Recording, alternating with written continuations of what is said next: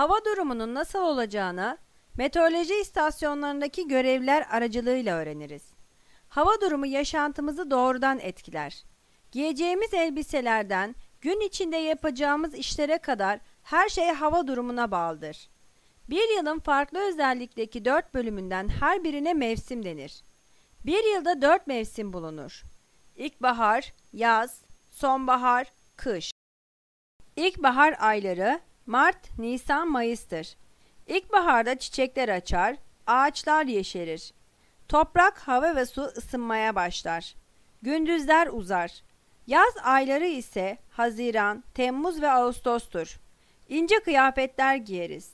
Ağaçlar meyve verir, yağmur daha az yağar. Denize girebiliriz. Sonbahar ayları Eylül, Ekim, Kasım'dır. Sonbaharda hava, su ve toprak soğumaya başlar.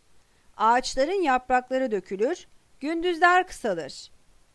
Kış ayları Aralık, Ocak ve Şubat'tır. Hava soğur, kalın kıyafetler giyeriz. Karlı günler de görülür.